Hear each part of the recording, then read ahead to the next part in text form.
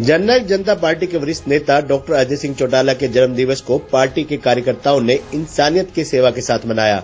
इस अवसर पर जजपा के युवा जिलाध्यक्ष डॉक्टर जसविंदर खैरा के नेतृत्व में कार्यकर्ताओं ने साधु संतों को फल वितरित किए। इस दौरान डॉक्टर जसविंदर खैरा ने विभिन्न जगहों पर जाकर जहाँ साधु संतों को फल वितरित किए, वहीं जरूरतमंद बच्चों में भी फल वितरित कर डॉक्टर अजय सिंह चौटाला का जन्मदिन मनाया। उन्होंने कहा कि अजय सिंह चौटाला मेहनत व ईमानदारी की मिसाल है। जजपा के कार्यकर्ता उनकी मेहनत को सलाम करते हैं। डॉक्टर जसविंदर खैरा ने कहा कि अजय सिंह चौटाला का जीवन संघर्ष से भरा हुआ रहा है। वे अपने पूरे जीवन को संघर्षशील रहकर जी रहे हैं। जननायक जनता पार्टी को खड़ा करने में डॉक्टर अजय चौटाला का सबसे बड़ा योगदान है। इससे पूर्व भी इंडियन नेशनल स्टूडेंट ऑर्गेनाइजेशन को पूरे देश में मज़बूत करने में डॉक्टर अजय सिंह चौटाला का विशेष योगदान रहा है। आज का युवा उनसे प्रेरणा लेकर आगे बढ़ रहा है। उन्होंने कहा कि जजपा के वरिष्ठ नेता डॉक्टर अजय सिंह चौटाला ने देश के पूर्व प्रधानमंत्री, पूर्व उप प्रधानमंत्री चौधरी देवीलाल से संघर्ष करना सीखा है और उनकी सीख से वे लगातार संघर्ष कर रहे हैं।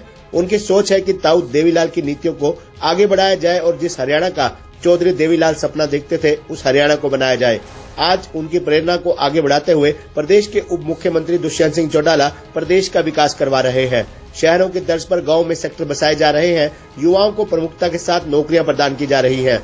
हरियाणा प्रदेश का युवा बेरोजगार न रहे और मेहनत कर आगे बढ़े इस प्रकार की सोच के साथ उप मुख्यमंत्री दुष्यंत चौटाला कार्य कर रहे हैं। इस अवसर पर हर्ष शर्मा सतीश मडाड सार तिवारी व अन्य युवा साथी मौजूद रहे।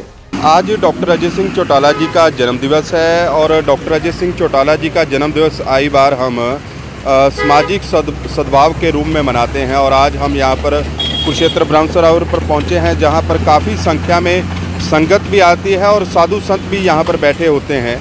तो आज हमने उनके जन्मदिवस के उपलक्ष्य में यहाँ पर पहुंचकर सभी साधुजनों को, राम संगत को फल वितरित करने का काम किया है।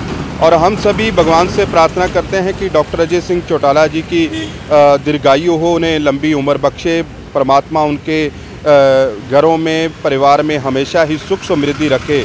और जो हरियाणा प्रदेश के लिए वो सेवा कर रहे हैं, उन्हें हरियाणा प्रदेश की सेवा करने के लिए बल बख्शे।